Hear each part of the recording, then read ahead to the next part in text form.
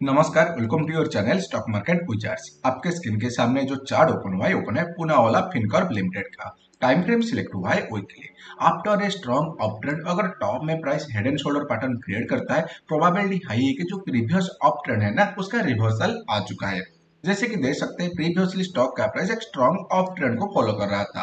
And top के ऊपर जाकर प्राइस यहाँ पे क्रिएट किया है कि हेड एंड शोल्डर पैटर्न ए हो गया लेफ़्ट शोल्डर ए हो गया राइट शोल्डर एंड ए हो गया उसका head and head and shoulder pattern का नेक लाइन हो गया ब्लू लाइन जिसको ऑलरेडी देखिए प्रीवियस वीक में यहाँ पे ब्रेक डाउन कर दिया है। देखिए हेड एंड शोल्डर पैटर्न जो है बियोरिस चार्ट पैटर्न है। अगर कभी भी हेड एंड शोल्डर पैटर्न का नेक लाइन को प्राइस ब्रेक करके उसके नीचे क्लोजिंग आ जाता है प्रोबेबिलिटी हाई है कि उसका प्रीवियस ट्रेंड का रिवर्सल आ चुका है। एंड जिस टाइप का देखिए यहाँ पे head and shoulder pattern trade किया है प्रोबेबिलिटी हाई है कि आने वाले टाइम में स्टॉक का प्राइस उसका प्रीवियस मॉल्टियर का सपोर्ट को टेस्ट कर सकता है, जो कि लेवल बन रहा है 190 के आसपास। देखिए 190 लेवल था ना, जो कि प्रीवियसली रेजिस्टेंस था प्राइस यहाँ पे ब्रेकआउट करने के बाद वो लेवल यहाँ पे इंपोर्टेंट सपोर्ट जैसा काम करेगा।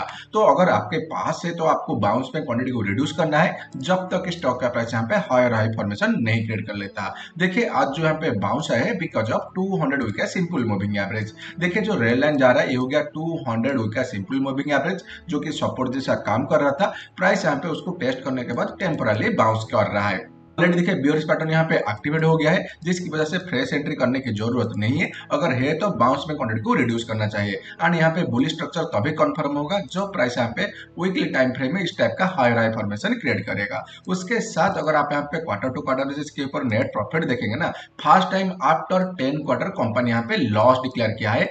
471 करोड़ का।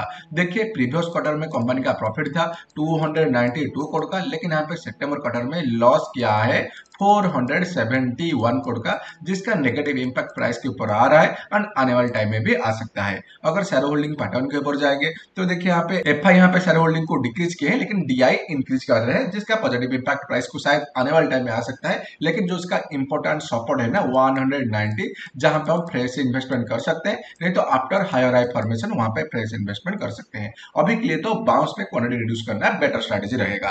प्रोमोटर होल्ड कर रहे सिक्सटी जो कि स्ट्रॉन्ग होल्डिंग है। बस यहाँ पे F I selling D I buying उनका चल रहा है। एंड पब्लिक शेयर होल्डिंग को डिक्रीज किए हैं, जो कि पॉजिटिव साइन है। उसी हिसाब से आपका रिक्स रिवार्ड क्वांटिटी को खुद का एनालिसिस को ऐड कीजिएगा। मैं आशा करता हूँ आप डिटेल्स एनालिसिस समझ पा रहे होंगे। वीडियो अच्छा लगा, वीडियो लाइक कीजिएगा। चैनल को सब्सक्राइब कीजिएगा। नमस्कार, जय हिंद।